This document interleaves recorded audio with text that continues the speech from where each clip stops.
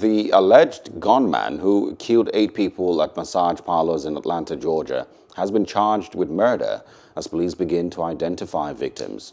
Officials cannot yet confirm if the attack, in which six Asian women were killed, was racially motivated. The suspect faces multiple counts of murder as well as aggravated assault. Cherokee County Sheriff Frank Reynolds said the suspect may have been a patron and claimed to have a sex addiction. The attack comes amid a sharp uptick in crimes against Asian Americans. Hello, hope you enjoyed the news. Please do subscribe to our YouTube channel and don't forget to hit the notification button so you get notified about fresh news updates.